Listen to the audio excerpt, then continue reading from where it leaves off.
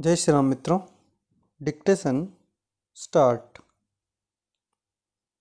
आवेदकों ने संविधान कौमा 1950 के अनुच्छेद 227 के साथ पठित सिविल प्रक्रिया संहिता की धारा 115 के अधीन यह आवेदन फ़ाइल करके विद्वान मुंसीफ संख्या दो, कामरूप कोमा, राजगढ़ द्वारा उन्नीस सौ पंचानवे के हकवाद संख्या बत्तीस में फ़ाइल उन्नीस सौ पंचानवे के प्रकीर्ण मामला संख्या चार सौ बत्तीस में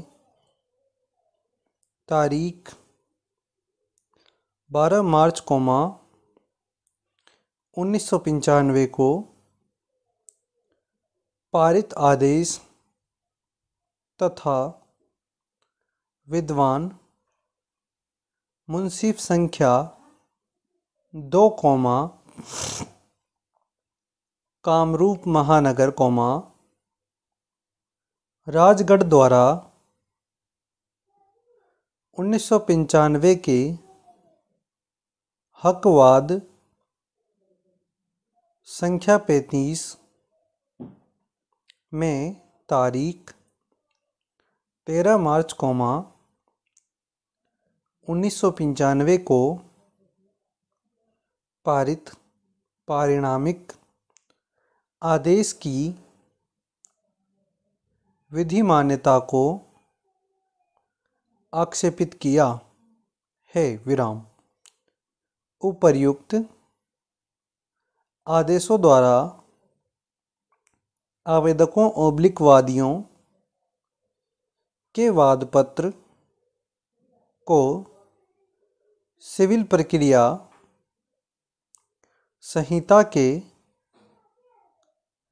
आदेश सात कोमा नियम ग्यारह कोष्टक घ कोष्ठक के उपबंधों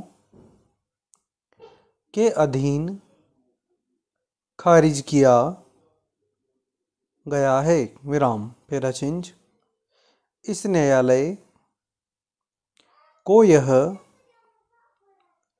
प्रतीत होता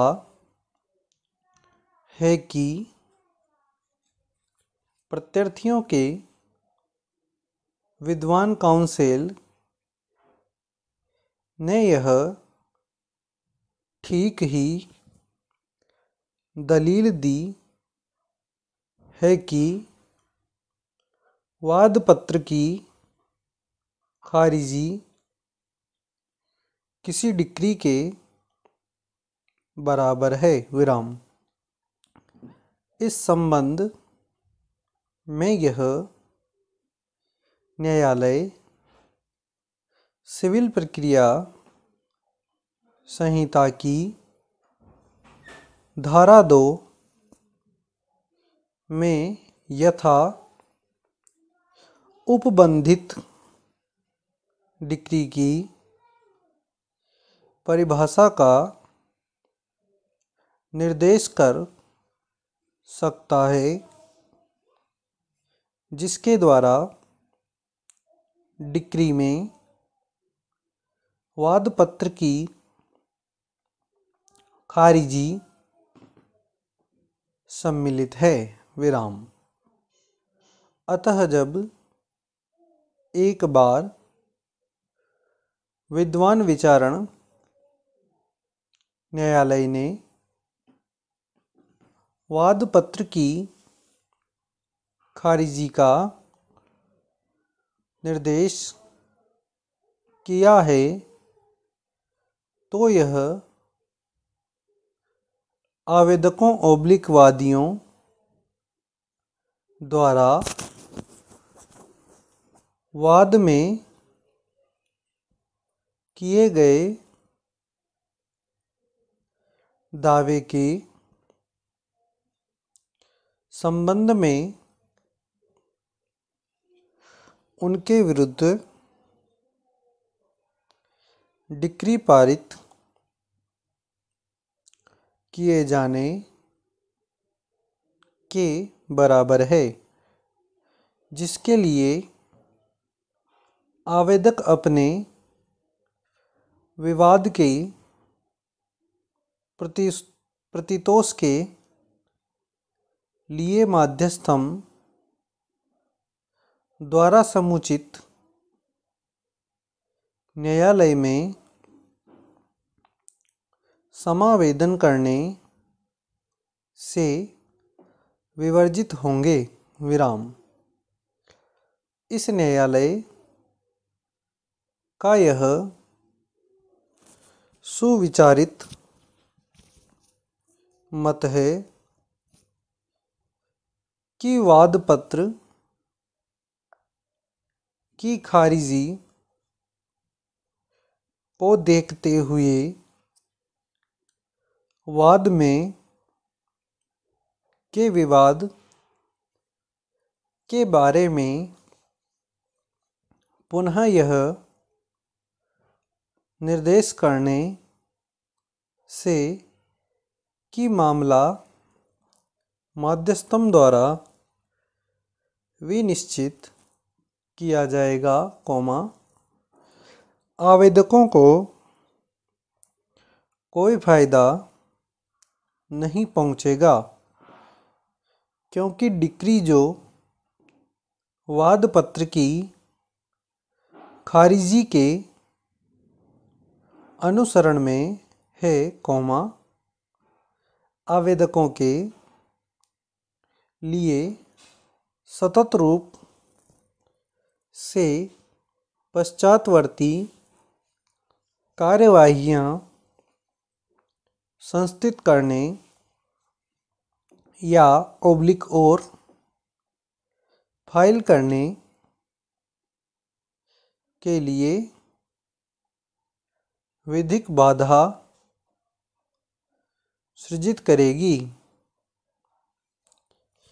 जिसमें ऐसा माध्यस्थम भी सम्मिलित है और इस बारे में सुस्थापित सिद्धांत है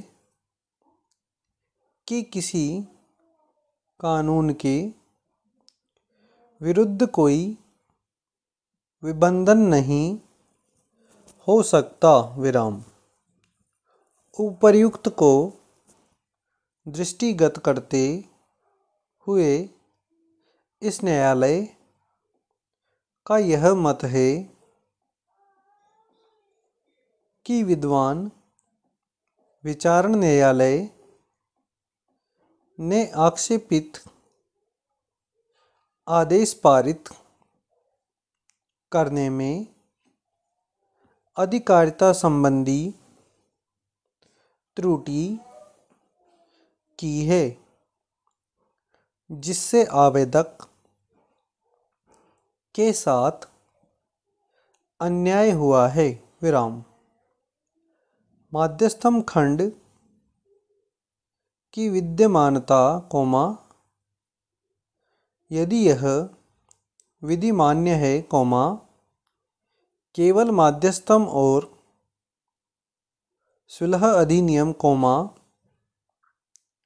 उन्नीस सौ छियानवे की धारा आठ के अधीन कोई आदेश माध्यस्थम को विवाद निर्दिष्ट करके किया जा सकता है। विराम। प्रत्यर्थी के विद्वान काउंसिल प्रवृत्ति विधि का ऐसा कोई उपबंध दर्शाने में असमर्थ रहे हैं, जो किसी व्यक्ति को कोई सिविल वाद इस कारण से संस्थित करने में विवर्जित करे कि पक्षकारों के बीच करार में मध्यस्थम खंड विद्यमान है। विराम। स्टॉप। धन्यवाद।